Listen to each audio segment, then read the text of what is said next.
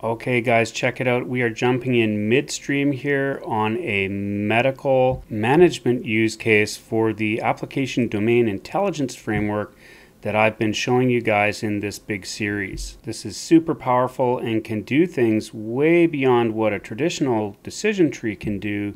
In fact, you can automate entire workflows and do dynamic decision support systems using this programming if you have a database application in a very complex environment like manufacturing or medicine or many other environments where there are complex workflows, ADI is for you.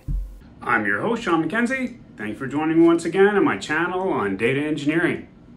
In this episode, we go back to our application domain intelligence playlist with Microsoft Access and sit back and relax because there's no work today. We are just going to be doing a demo. That's right, today we are going to be doing a demo of a medical management uh, protocol, uh, which is a good use case for something uh, like the ADI framework.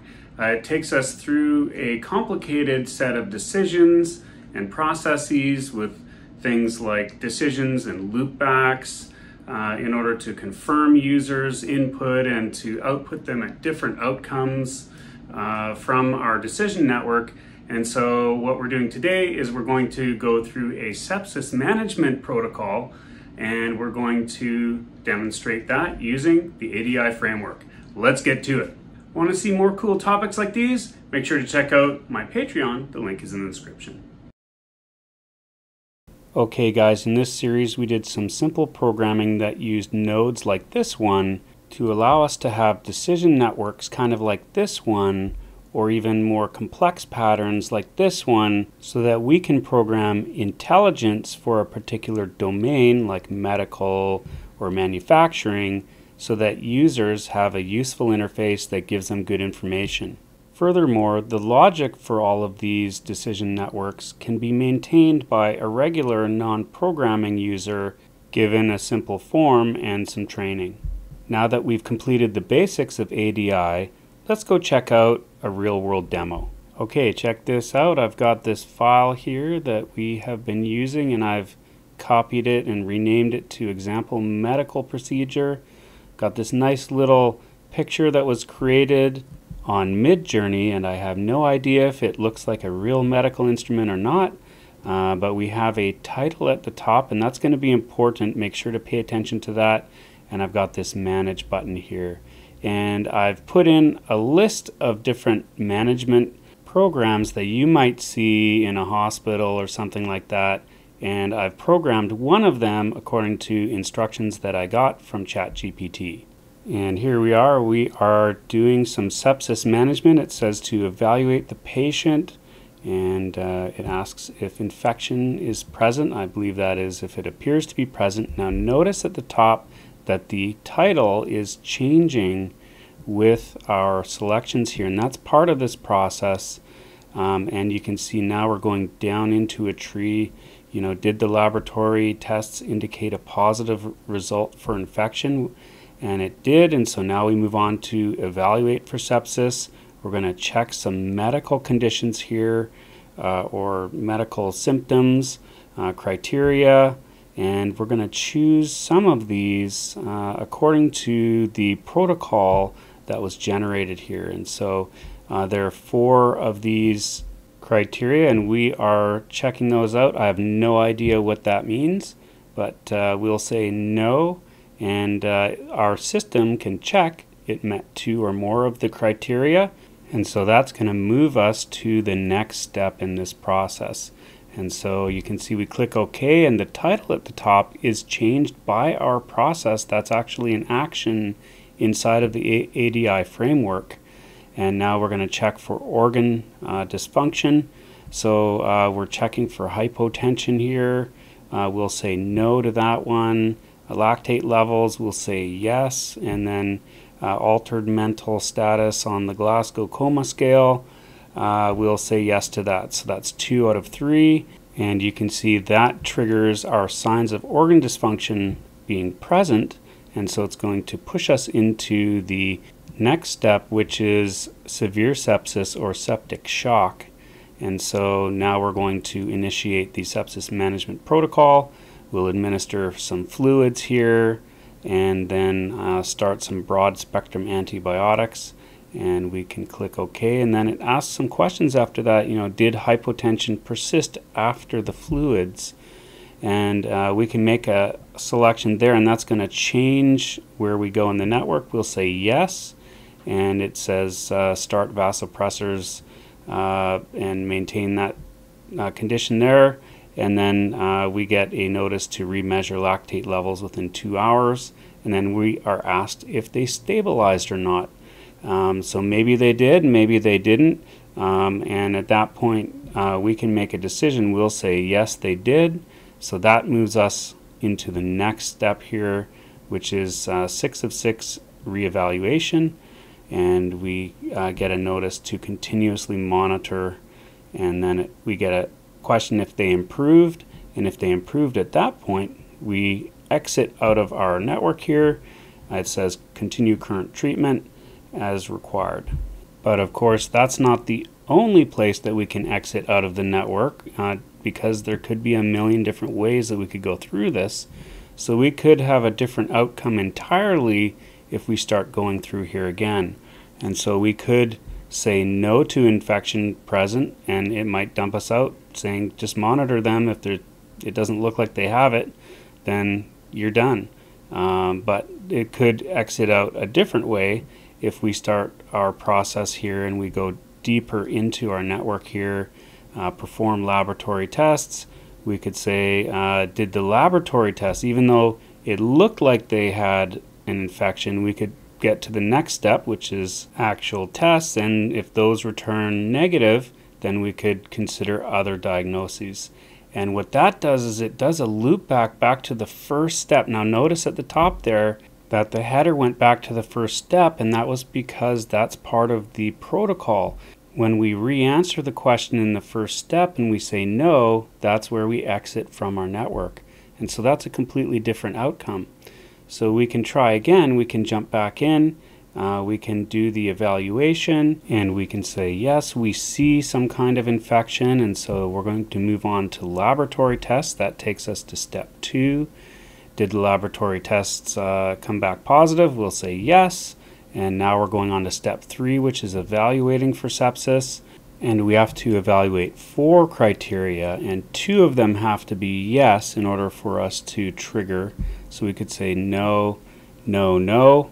So it didn't meet any of the criteria. So that's going to uh, kick us out of our network at a different place uh, because none of the uh, criteria were met, or you need two of them in order, two out of four, in order to be uh, passed to the next step. So we could try again. We can go into our uh, network here. We can do perform laboratory tests. We're on step two. Uh, they returned as positive. Um, so now we'll go to step three, evaluate for sepsis. And uh, we can uh, go through, we'll say yes, no, yes, yes. So we'll get three out of four this time. And uh, that's going to uh, be evaluated in our uh, ADI framework according to a function we created. And that's going to pass us on to step four, which is determining severity of sepsis. So here there are three, and so we have to meet at least one of three, I think it is, in the uh, protocol. And so we'll choose at least one of those. And uh, this is the uh, Glasgow Coma Scale. We'll say no to that. And uh, that says signs of organ dysfunction are present. We're proceeding to sepsis management and that is step five of six. Note that the uh, the title has turned red. That's part of the programming you can do in the tables as well. And so here we go. So does hypotension persist after fluids? Uh, we'll say no, and uh, we'll remeasure in two hours and see if the patient has stabilized. And here we can say no, they did not stabilize. Uh, so we've done all this management. They, they're not stabilizing. So this is where we go out, escalate to the ICU, consider advanced therapies, and we are out of this uh, network. That's the, the end there. And so, you know, continuing on, we can go through the, some of those same steps here. We can evaluate again. uh, we can say yes, we've got some infection. It looks like they've got infection, so we'll do the laboratory tests and say yes to those. We move on to step three, evaluate. We've got our four steps. We need two of four, so we'll do yes, yes, uh, no, and uh, yes, and then we'll do uh, meets two or more, so it calculates that. Assess for signs of organ dysfunction. We're going to go further in this time. We're going to say yes, um, you know, they've definitely got something going on here. Uh, and uh, that's going to allow us to move to the next step, which is uh, which is the severe sepsis or septic shock. And uh, so now we're going to initiate our management protocol again, and we're going to take a little bit of a different uh, route through there. Uh, so we're going to do our fluids and our antibiotics um, this time, and we'll say, does hypotension persist after fluids? We can say no, we're going to remeasure uh, within two hours. and then this time we'll say, yes, you know what, they have stabilized. Um, and so that's going to kick us over to the, or kick us up to the uh, reevaluation and monitoring step. Uh, and we're going to continuously monitor and we'll check if they, you know, did they improve. Uh, and we can say, uh, yes or no here, and we can say, you know what, no, they didn't improve, and that's going to kick us back to step five. Now, note the loop back again.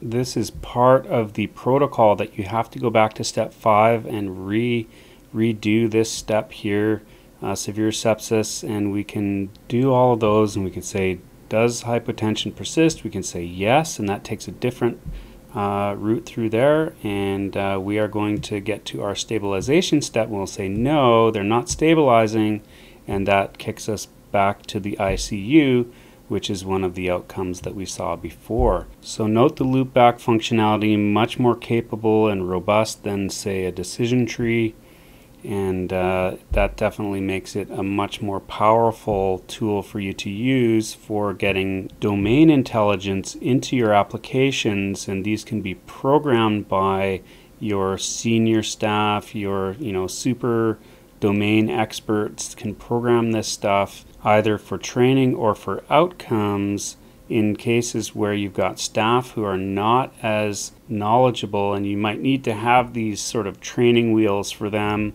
in order to make decisions or to follow processes or to even just evaluate um, things like you know manufacturing processes or or medical processes there are literally a million different use cases for this kind of programming and I really wanted to bring this to Microsoft Access first because it is the platform on which I designed the ADI framework over 20 years ago now.